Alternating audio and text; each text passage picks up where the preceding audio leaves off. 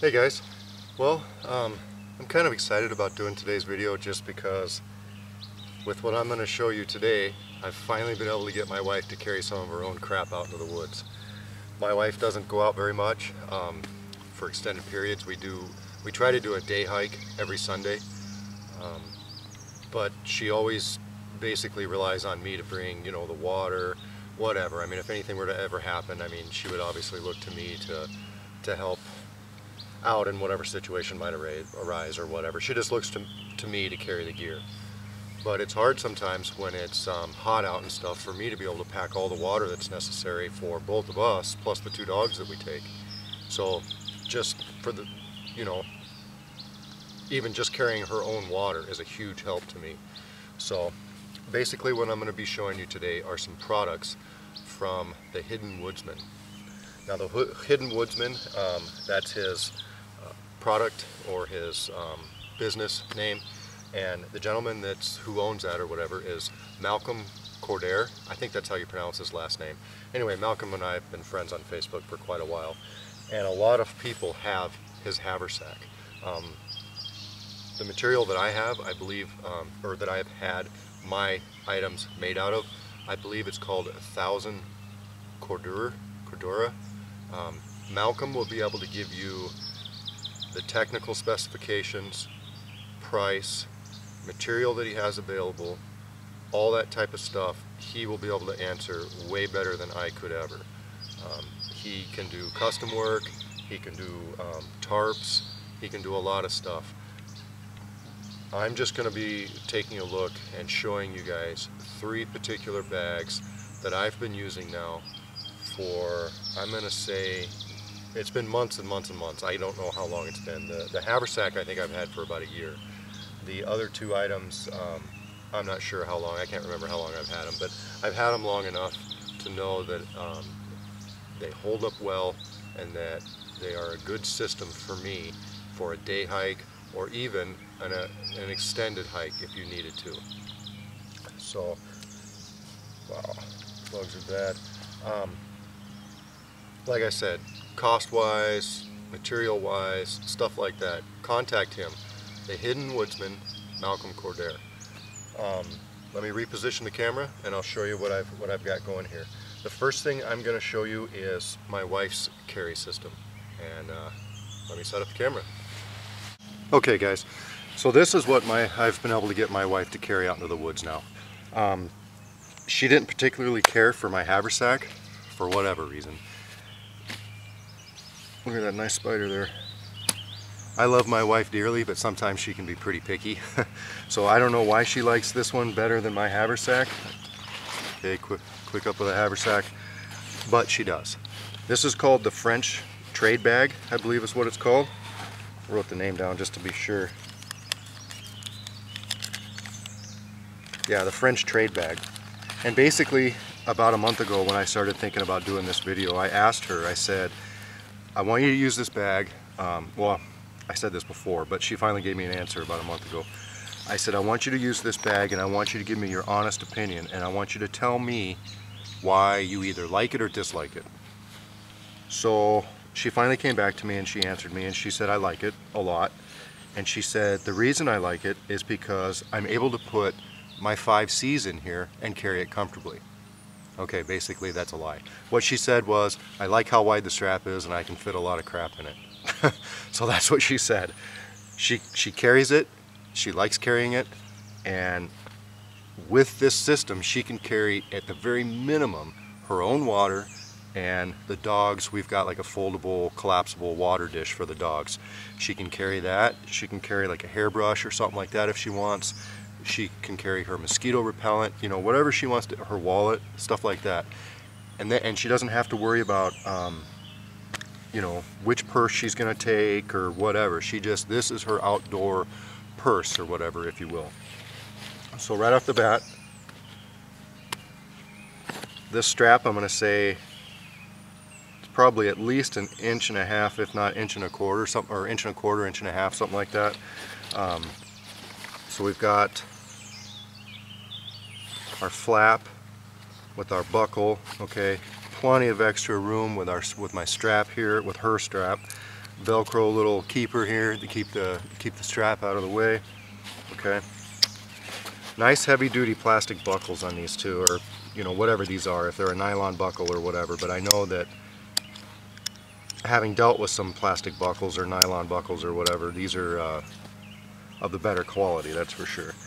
So he can make, he can do the inside different than the outside, you know, whatever. Contact him for the specifics on what type of material. She can put her iPhone in here, you know, there's just a lot of different options with this. Ton of stitching on the on the Velcro and stuff. The stuff isn't going to come loose. And I will I will tell you, and I, I hate to steal Dave's term, Dave Canterbury's term or whatever, this is common man stuff. This isn't going to cost you an arm and a leg. This isn't a hundred dollar bag or whatever, or, or, however much a leather bag, whatever would cost. This is this is functional stuff. Okay. We've got this nice little closer in here. Will kind of, if you've got the bag filled up, and it kind of just kind of tucks everything in here and kind of keeps it situated inside inside the bag. Okay, just an extra little in addition to the, to the closure, you might say. Inside here, another nice little pocket. Okay, another nice little pocket right inside there. She can, whatever she carries, you know, I know it's not a lot of 5Cs or 10Cs, but at least I know she's got her water bottle in here. Okay, just nice gussets and stuff. I think that's what you call these, whatever. All I know is that I've been carrying my haversack for a long time and I haven't had any issues with anything coming loose, no stitching coming loose, no no no threads, no nothing, you know, even starting to want to come loose and I take mine out a ton. She's been using hers quite a bit too. And uh, like I said, it's only for, for short day hikes, but I mean, you know, when you get to using some of this stuff, you can tell. You know, some of my other stuff that I've had in the past, you know, you only use it a few times and, and it starts breaking down. With this, if we run up against a raspberry bush or if we come up some prickly ash or something, stuff's not gonna rip, okay? It's, it's some good stuff.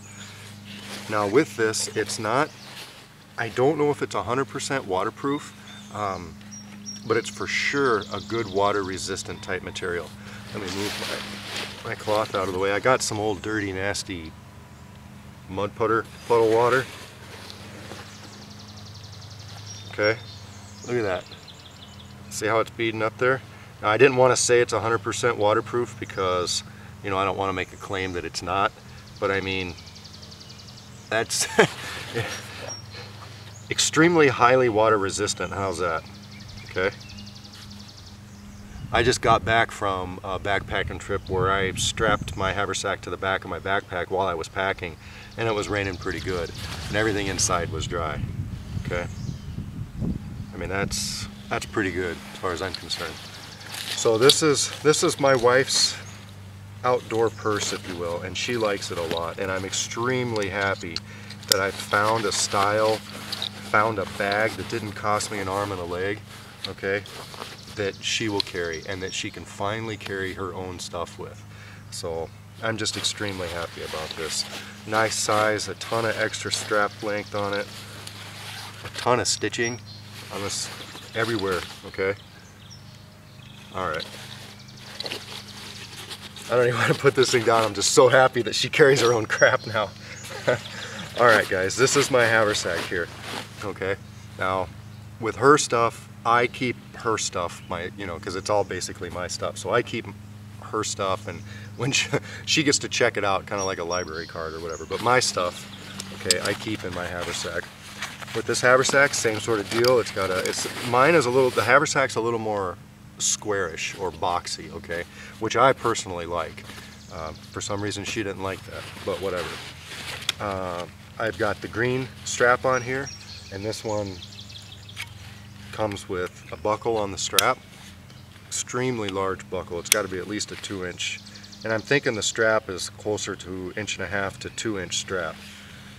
Okay, that was one thing I probably could have uh, measured, but I didn't.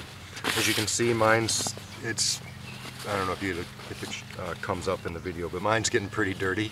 But, you know, I don't care. That's fine with me. I use mine a ton. Same sort of material. I wanted all my stuff to match. So, Okay. Now that one soaked in a little bit more. I don't know if the other one beat it up a little bit more because of the the two pockets and stuff, but I mean this stuff is, oh yeah, right, nice. It's definitely at least highly water resistant, okay? And mine doesn't have the inside lining. I believe Malcolm said that this was an earlier model and that now his come with the lining so that might help with you know making it like I said I don't want to say it's waterproof but it's with that extra lining it's got to be as close as it gets to it once again we've got with hers you saw that you know the one buckle mine has the two buckles on it same good quality buckles same good quality stitching okay this keeps my crap in there okay Nice pocket on the outside. With this pocket, I do a lot of chaga hunting. Okay, so I keep something in, in this pocket in another one of his pouches. Okay, nice Velcro, just simple pouch, but simple but you know very effective. So basically, um, I've just got you know like a spear point in here that in case I've got chaga way up in the tree, I can kind of lash it to a to a stick or something and then dig it out. You can, you know, whatever you want in there, you can put in there. Full length um, Velcro. It's not just like one little stitch here, and not just one little bit of Velcro where crap can kind of leak out. Nope, it's full along there. Okay. I didn't even notice that the heck, you could, there's even like a pocket in there. I've had this thing forever and I didn't even think about that. Because this goes over the top of it, that'll be a nice little, you could put something in there, you know, whether you want a tinder or whatever in there. Look at that, you learn something new every day. I've had this thing for a flipping year and I've never utilized that pocket. Anyway, alright, so then on the inside here, I've got another one of his little pouches here. I'm not sure what he calls this one, but I like to use this for my tinder bag. Okay, it's, it's uh, super easy to get to, you know, whatever, just a nice little pouch. He makes all sorts of belt pouches. Actually, I have another belt pouch upstairs I could have grabbed, but anyway, on with the bags. So inside of here, you can tell there's just a ton of room, okay? I've got, you know, a bandana, I've got some hot chocolate, I've got my fire kit in here. I've got a bow drill bearing block in there. In here I've got my, my Bahco saw. Okay, so I don't really have a lot in here, but I've got enough in here that you know I've got a lot of the 5Cs and stuff. I don't have my my water container in here because I want to show you something else and how I kind of use these things in conjunction with each other. But anyway, this haversack will hold a lot, but it's not designed to carry a lot of weight. A haversack is designed to have in my opinion, stuff that you want to get to right away that maybe not is not in your backpack. But you can have it right on your side here. You know, you can reach right into it. You can stuff tinder in it, or if you need tinder, you've got it right there. Whatever, my saw's right here if I don't want to have my saw in my belt. It's just a, a real good thing. You know, I didn't know how much I'd like a haversack early on, but I use this thing all the time. This is totally what I take day hiking. Um, you know, if I want to put a pair of binoculars in here, whatever. But as you can see, I mean, there's plenty of strap, good sturdy construction,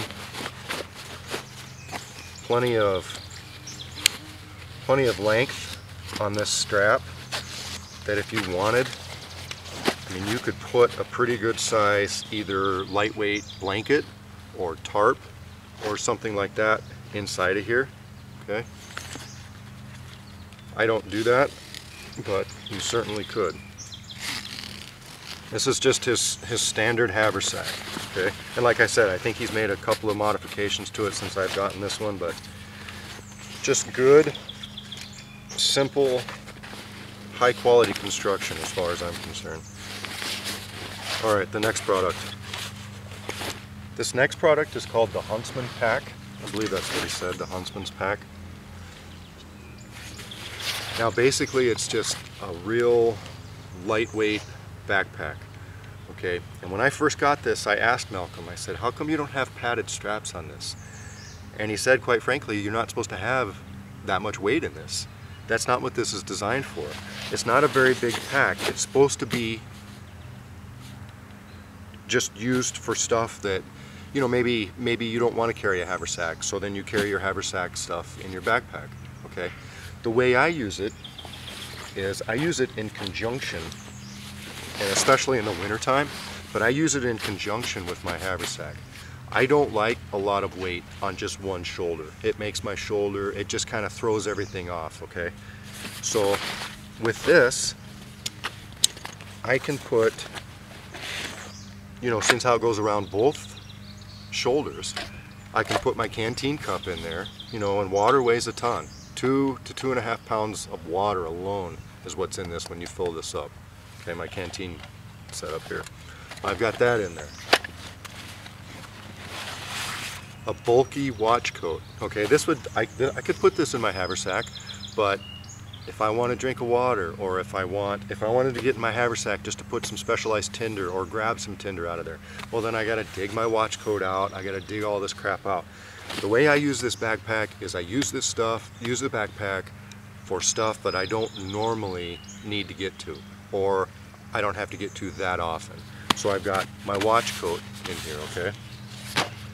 And my canteen could go in either the haversack or the pack just depends on on what I have you know how I'm how I've got it set up. So that's all I had in there okay? There it could hold a, a ton more stuff. We've got another big pocket full-length velcro in there okay?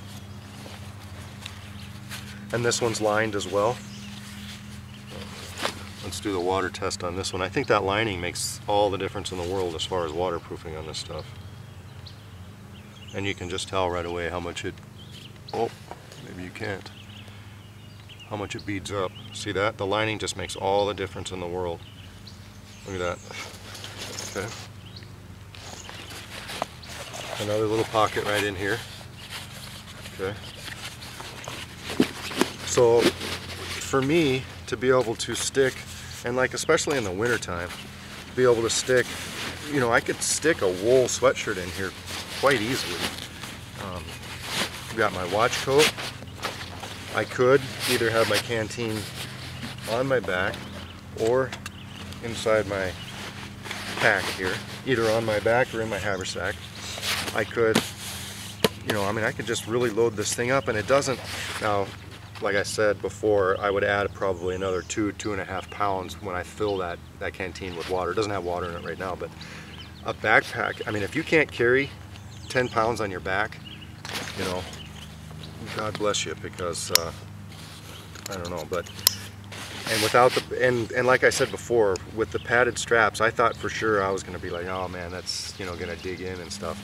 No, if you have, if you have it packed the way you're supposed to, which is lightweight, um, you know, maybe bulky items, whatever, but you're not going to be carrying 50 pounds in this thing. And I've not had a problem with this at all. I mean, I, I actually like it. I, I didn't think I'd like it quite as much as I do, but being able to get keep some of the stuff out of my haversack and keep it on my back where I don't, you know, the, the stuff that I don't need to get to as often has really proven pretty, pretty helpful. It's, it's actually pretty cool. So normal, you know, he does all this, I don't know anything about sewing, but when you see a lot of thread, in my mind that means it's uh, that's a good deal. You want to see a lot of thread. Okay, just totally goes back over, over it and over again where the end of the, the stitch is. Plenty of room for, you know, bigger guys or whatever with, uh, with these straps. Plenty of room. So, I just wanted to share this with you guys. This a lot of these, a lot of people have this haversack, and but I haven't seen a lot of people posting about this backpack and about this this other style of haversack, the French trade pack or, or haversack or whatever. And I haven't really seen a video about how these are used in conjunction. I mean, I just think that's a real cool idea. Sure, you could carry one padded strap backpack if you wanted to, but someone described it to me as being pack happy.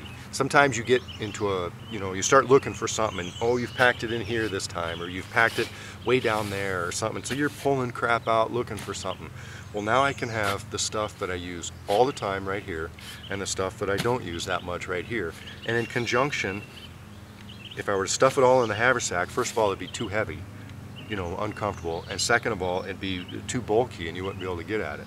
Where now I can use these, these two separate items, which will work standalone on their own, but when you combine them, you've just got a lot more, a lot more options. So that's about it. I just uh, wanted to share that, get that out there. This is this is some good stuff, and it's not going to cost you an arm and a leg. So there you go. Hope you guys are having a good one. Once again, it's uh, the Hidden Woodsmen, Malcolm Cordair. So contact him, see what he can do for you. He's, he does good work. Take care, guys.